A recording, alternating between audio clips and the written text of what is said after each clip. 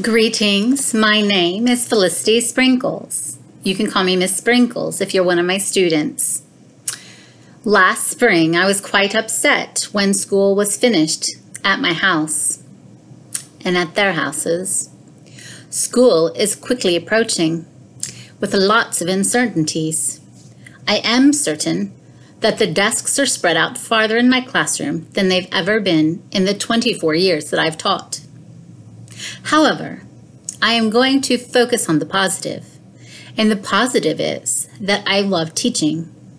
And so, with that mindset, I rewrote You Made Me Love You into I Want to Teach You. And it goes something like this.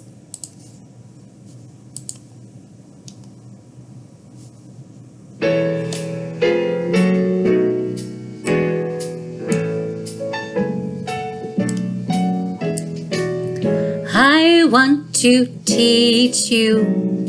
I really want to do it. I really want to do it. You want to learn too.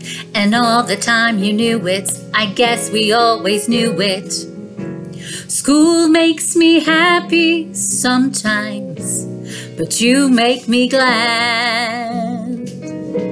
But then COVID 19 arrived and it made me so sad. It made me cry too. I didn't want to tell you. I didn't want to tell you. Cause I want to teach, that's true. Yes, I do.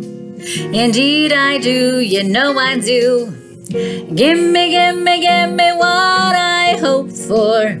You know I've got a class of students I die for. You know I want to teach you.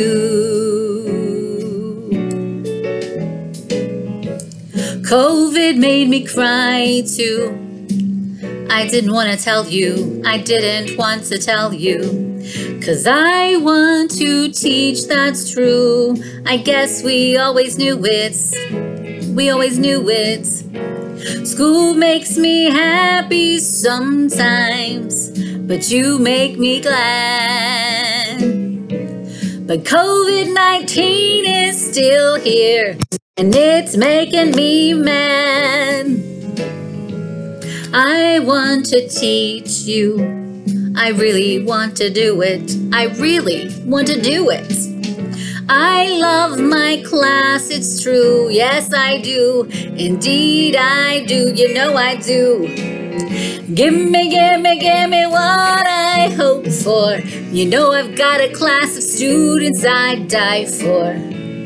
You know I want to teach you. I am dedicating that to my 25th class of students, my first class of fourth graders. I Felicity Sprinkles want to teach you. And I really want COVID 19 to just go, go away.